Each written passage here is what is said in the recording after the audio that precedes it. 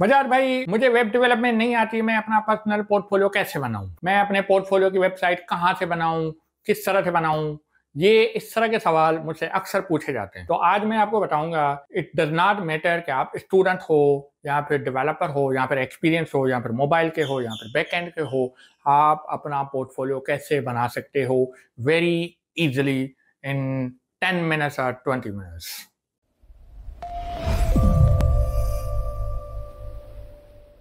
अस्सलाम वालेकुम my name is Wajad Karim and welcome to remote करो बैक इन 2012 जब मैं न्यू था इंडस्ट्री में एज ए मोबाइल डेवलपर अपनी एंट्री कर रहा था तो उस टाइम पे भी मैंने अपना एक पोर्टफोलियो बनाया था।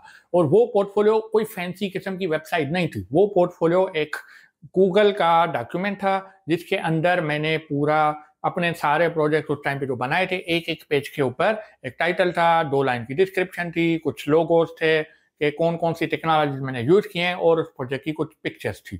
और वो सारा मैंने गूगल ड्राइव के ऊपर अपलोड कर दिया। अब, और अपनी सीवी में उसकी बड़ी वाली यूआरएल डाल दी। मुझे उस टाइम पे ये भी नहीं पता था कि मैं कोई बिटली या इस तरह का कोई सर्विस यूज़ करके इस यूआरएल को शॉर्ट कर सकता हूँ। I was very naive I was very new but I still manage to create a portfolio और जब मैं इंटरव्यू में जाता था रियल इंटरव्यूज़ में तो वहाँ पे मैं उस पूरे डॉक्यूमेंट की प्रिंटेड कलर प्रिंटेड कॉपी लेके जाता था।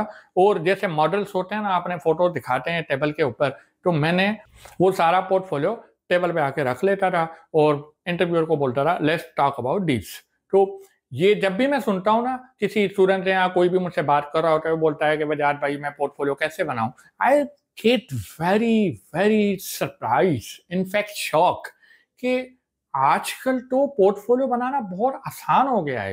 ये तो उस टाइम पे मसला था फिर भी आपको कुछ करना पड़ा। देर इज़ अ मिसकनसेप्शन कि पोर्टफोलियो एक एडवांस किस्म की वेबसाइट होनी चाहिए रिस्पॉन्सिव भी होनी चाहिए उसमें आ, आपकी डिटेल्स हों आपका ब्लॉग भी चल रहा हो उसके ऊपर।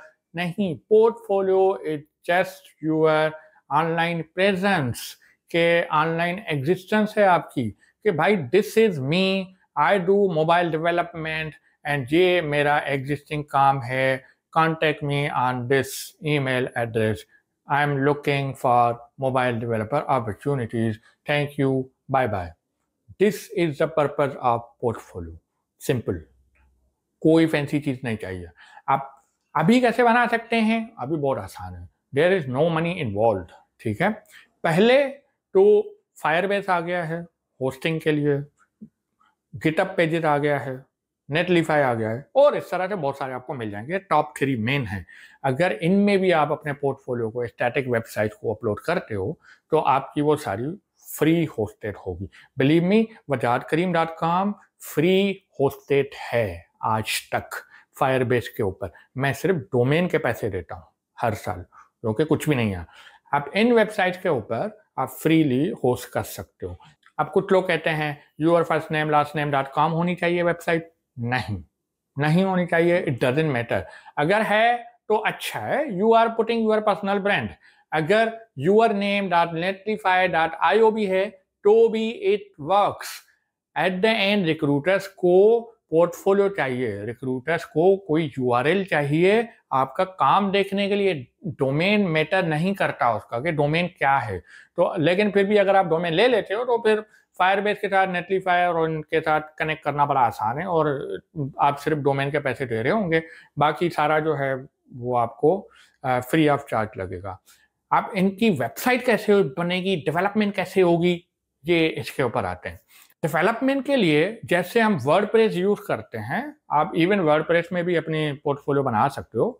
तो WordPress is a C M S वहाँ पे आपको कोई टेक्निकल काम करने की ज़रूरत नहीं होती। You just write your post and you just write your pages इसी तरह से स्टैटिक वेबसाइट्स के लिए भी कुछ सी एम एस फ्रेमवर्क हैं, जो मोस्ट पॉपुलर हैं, वो हैं गेस बी जैकिल ह्यूगो मेरा फेवरेट ह्यूगो है। इन सब में डिफरेंट किस्म के थीम्स पड़े हुए हैं इंटरनेट के ऊपर और उनमें पोर्टफोलियो वाले भी हैं ई कॉमर्स की भी हैं, इस तरह की सारी थीम्स हैं। कोई भी एक थीम उठाओ और उसके ऊपर अपनी डेटा डालो और पूरा जो डेटा होता है ना आपका वो सारा मार्कडाउन में लगेगा। Markdown is a very easy language जो कि आप पाँच मिनट में सीख सकते हो, इसमें कुछ नहीं है।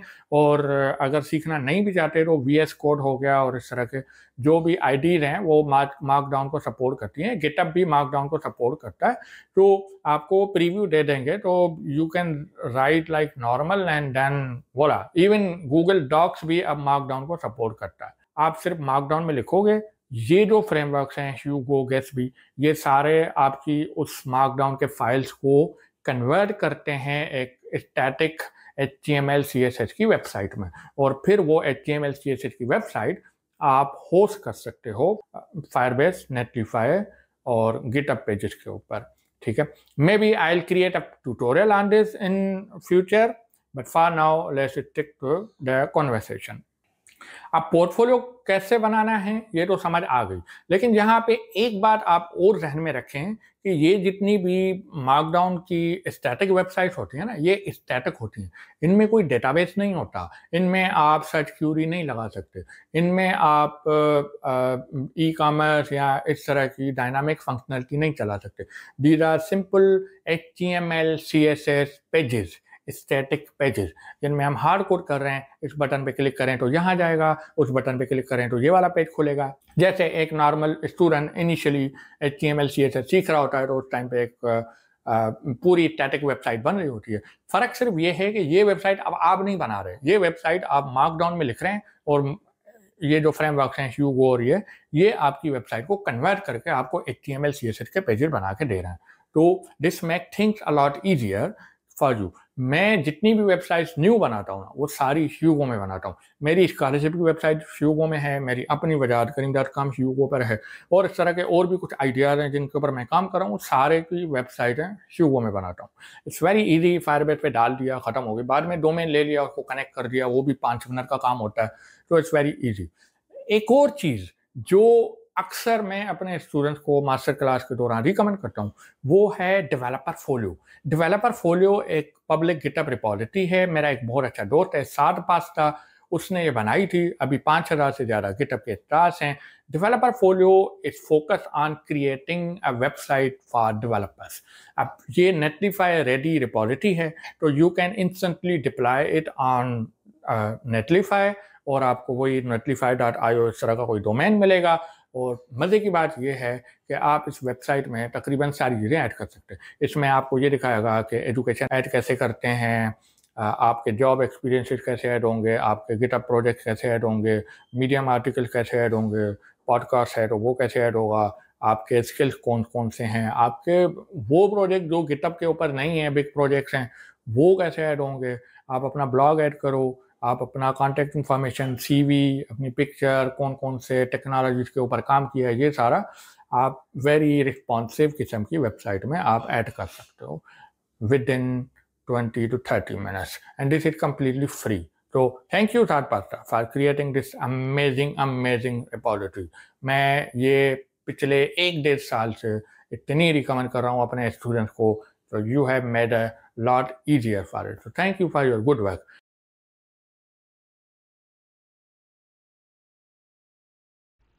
Hi everybody, my name is Saad Pasta. I am the creator of an open source project called Developer Folio. Developer Folio is a project that helps you create your own portfolio with very easily and very ease, with a lot of ease. Uh, it has over 5,000 stars on GitHub and it has helped thousands and thousands of developers to create their own portfolio. So let me introduce a bit about myself. My name is Saad Pasta. I am a senior software engineer at a fintech company in Pakistan called SadaPay. I've been there for around four years. I have been building for open source for quite a while. Um, I have built open source project. I have built SaaS product. I've recently built an um, a Chrome extension also. So I love creating things, and open source one of the things, and Developer Folio was one of the main things that I created, and that trended worldwide actually it trended on reddit it trended on twitter everywhere it was it is the one one of the most impactful open source projects from pakistan. So the thing why i created developer folio so i think it was for my own use. Actually i wanted to showcase my abilities my work or as a, on a website so i created a portfolio. And i published it on linkedin so everyone loved it. So people were like oh where, where we can get this portfolio template all that So I said, okay, I'll open source it. I'll just open source it and put it on GitHub, and I open source a template, and that there what it is. But one thing I did was I posted also on Reddit, and there it actually boomed. It had like 500 upvotes, and it actually got trended on Reddit everywhere. So from there, the people start coming in, people start recommending. This has been like all recommended by big, big YouTubers also, like with millions of subscribers. And then the stars start stars started pouring in. So basically, then a lot of contributors actually came in. There are, I'm not sure right, right now, there are 100 plus contributors at Developer Folio that has contributed around like in four to five years. So there are a lot of contributors to it actually, and that have actually helped the project grow a lot. And the achievement of Developer Folio is like, I would one just would say that it has more than 5,000 stars. It's one of the big achievement. It has trended two times on GitHub. That's one of the achievement. And the one thing is like, it is the most impactful project. I have seen a lot of people come to me, oh, Saad, I use your portfolio and got a job. Oh, Saad, I'm using your portfolio. People from India, Pakistan, people worldwide, even like IBM senior engineers, and even aircraft engineers, people like people from all domains, not just software engineering. It's just amazing to see that just a small portfolio project has so much impact on people. So just that's amazing. And um, how many people have used the project? Um, I think it must be in thousands people that I don't know. I, I used to keep a list of uh, whenever I see the people, these people are using my portfolio, but I stopped keeping list because the list grew so much. But I, I would say tens of thousands of people. So if you just uh, search the portfolio, you will get a list of people using it or Google actually. So it's like, it's amazing. Yeah. Um, and how Developer Portfolio have helped me, I would say, is like I got a job due to that people actually when you come to uh, github and people see your project people see you uh, your github actually it's like that that they see oh this guy has done some impactful work i got my job as i think due to that reason because i think john actually saw my github and approached me on linkedin so I think it really helped me grow in my career. Um, whenever I say something and look at my GitHub, they see, oh my god, this guy has like a project that has 5,000 stars. It's a very small project, like it's just a template, but even template have 5,000 so means means it's a big thing. But yeah, it has helped me a lot in my career. And thank you so much, guys. Thank you. Have a nice day. Finally आज आपको ये समझ आ गई होगी कि portfolio कैसे बनाते हैं आपकी ऑनलाइन एग्जिस्टेंस के लिए और आपके जॉब्स को अप्लाई करने के लिए और लाइक करें शेयर करें सब्सक्राइब करें thank you for watching this video comments में बताएँ अपने पोर्टफोलियो शेयर करें I love to see all of your portfolios तो थैंक यू बाय बाय